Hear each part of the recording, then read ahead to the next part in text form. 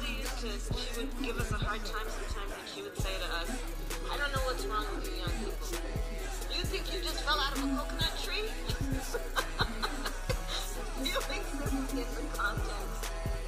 We appreciate your patience, Waffle. Yeah, uh, well, it's me, bullshit, Cairo Daily. Put this in context. CIA agents that uh, Secret Service that uh, follow Kamala around everywhere.